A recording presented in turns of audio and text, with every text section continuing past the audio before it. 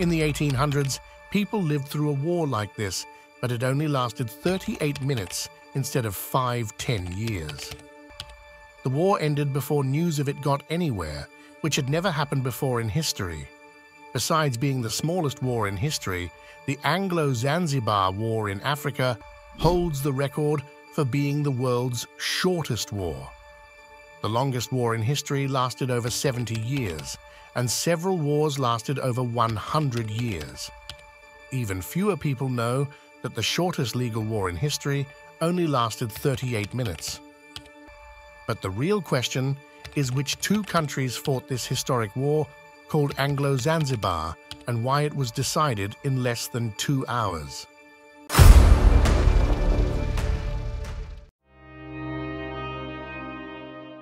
In the past, this island was part of a country called Zanzibar. It is in the Indian Ocean, just 40 kilometers from the coast of East Africa, which is now part of Tanzania. Oman used to be in charge of the Sultanate of Zanzibar, and things were going well. Zanzibar's main source of income came from the very last slave market in the world, where people were bought and sold. Ropes brought slaves from the continent of Africa to Zanzibar Island. Often, slaves on the ship would jump into the Indian Ocean by releasing their ropes. Many of them got sick, and many of them died of suffocation on the less than 40 kilometers trip.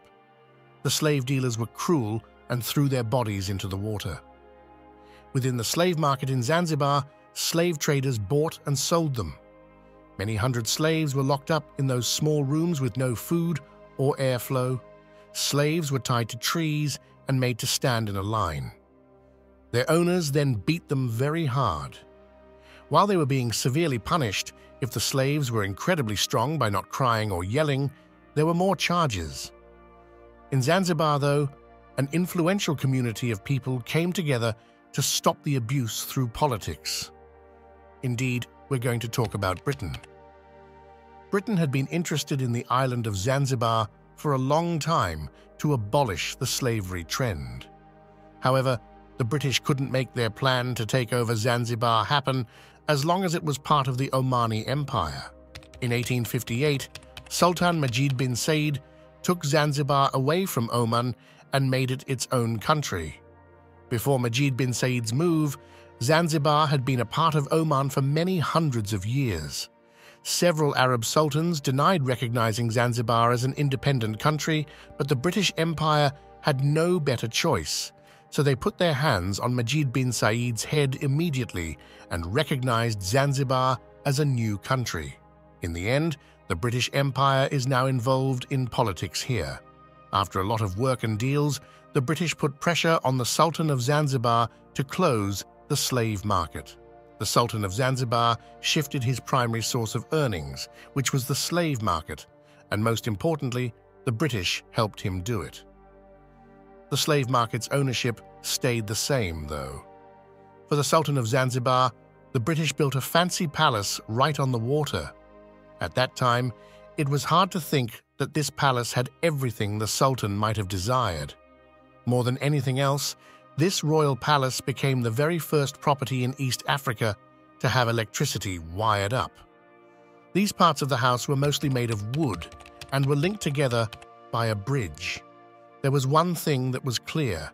The British were getting a lot of power over Zanzibar.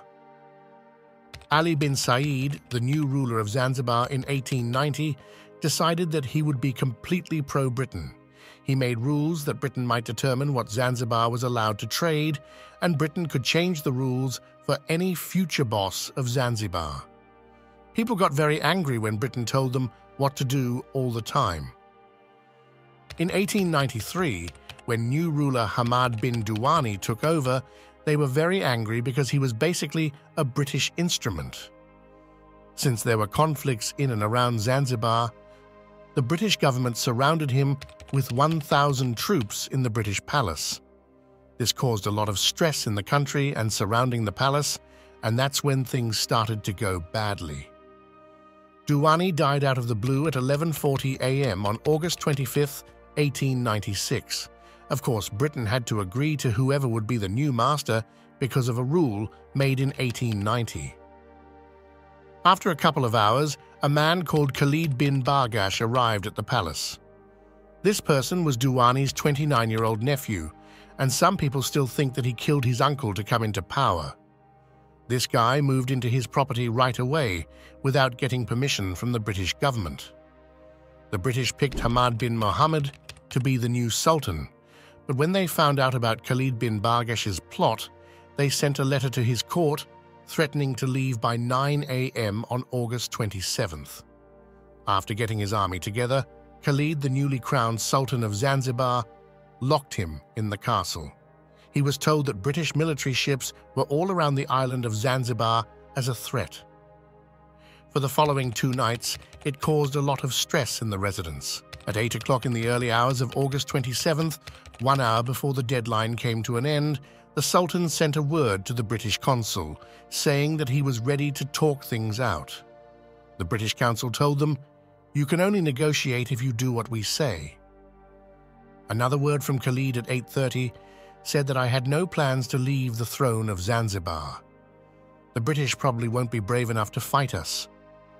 The British consul responded that they didn't plan to attack either, but that didn't mean they couldn't. There were 2,800 guards outside the Palace of Zanzibar at this time. These included civilians, palace guards, and plenty of the Sultan's own servants and slaves. There was also a tiny vessel named Glasgow that Queen Victoria had given as a gift, as well as two steam launches that were placed in the Indian Ocean outside the palace to fight the Royal Navy. At exactly 9.02, several ships from the British Navy smashed the palace. In one blow, the attack also destroyed the Sultan's royal ships. However, its upper part was not submerged because it was docked in a low-lying port. Under the British flag, the Glasgow crew gave up right away. The British Navy then intervened to save the crew of the Glasgow. It was the British's plan to capture Sultan Khalid bin Bargash. But during the initial stage of the attack, the Sultan and some of his friends ran away from the palace, leaving all of his loyal men and people behind. The heavy shelling claimed the lives of 500 soldiers from the Sultan's 2,800-man army. There was only one seriously hurt British officer on a British military ship, but he later got fine the British Navy shot about 500 shells, 4,000 rounds from machine guns, and 1,000 rounds from rifles. The British soldiers entered the residence at 9.38, and the remaining members of the palace guards also gave up. Two minutes later, at 9.40 p.m., the British soldiers took down the Sultan's flag and flew the British flag on top of the palace. Following the 38-minute war, the British quickly took control of Zanzibar. It became an indirect British colony and remained unchanged under Sultan Hamad bin Mohammed. Over the next nine to ten years, the British released 17,000 Zanzibari slaves and got rid of all slave society on the island. What do you think about it? I hope you enjoyed this video and will share it with your friends. Thank you for watching it.